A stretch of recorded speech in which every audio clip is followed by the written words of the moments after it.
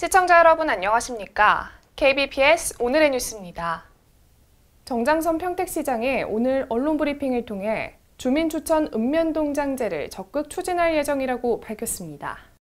정장선 평택시장은 읍면동장 주민추천제 활성화를 위해 하반기에도 주민추천제를 추진할 것이며 신평동 사례 전파와 함께 주민 홍보를 더욱 강화해 보다 많은 읍면동에서 주민들이 참여할 수 있도록 하겠다고 말했습니다.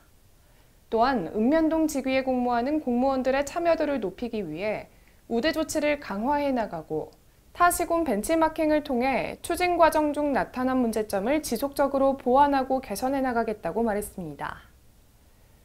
읍면동장 주민추천제는 읍면동장 지구를 공무원들에게 공모해 해당 지역 주민들이 추천하는 방식으로 선발 임용하는 공모제로 평택시는 올해 2월부터 추진해 지난 7월 1일 주민투표 등을 거쳐 한상호 신평동장이 처음으로 임명됐습니다. 이상 KBPS 이은지였습니다.